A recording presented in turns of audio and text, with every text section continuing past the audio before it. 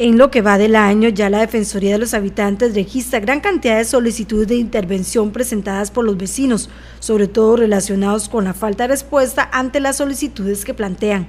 Las ayudas sociales por parte del Instituto Mixto de Ayuda Social y problemas de caminos en caso de la atención municipal. También problemas con el recurso hídricos y servicios públicos en general. Una de las preocupaciones que más este, están llegando es el tema de los servicios públicos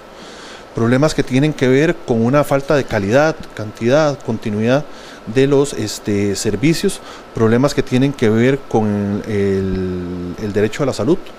con el tema este, de, los, eh, de las citas a largo eh, periodo,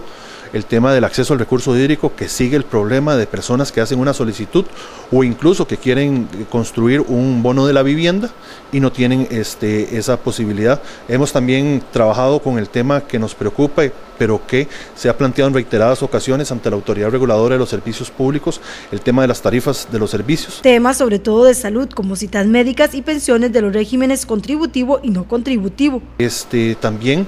otros eh, aspectos importantes tienen que ver con eh, trámites eh, de ayudas sociales, llámese con los programas del Instituto Mixto de Ayuda Social y con la dilación que están enfrentando los habitantes con la resolución de las pensiones del régimen no contributivo, especialmente por parte de la Caja Costarricense de Seguro Social. Ya a septiembre se registran 2.500 solicitudes de intervención y durante los últimos meses del año también tienden a aumentar las denuncias. Algunos casos este, ya había una incidencia menor, pero hay algunos casos que sí repuntan, como el tema de, las, este, de la omisión o de la falta de respuesta a planteamientos más que todo en temas de eh, bienestar social temas de personas que hacen algún tipo de solicitud de bono a la vivienda, de pensión no contributiva o de ayuda social en el IMAS en sus diferentes modalidades, a saber, bienestar familiar, avancemos, eh, plan puente, etcétera, y que no se les está brindando este, una respuesta. Con esto no quiero decir que la respuesta tiene que ser positiva o negativa, pero sí se le tiene que dar una respuesta conforme a la legalidad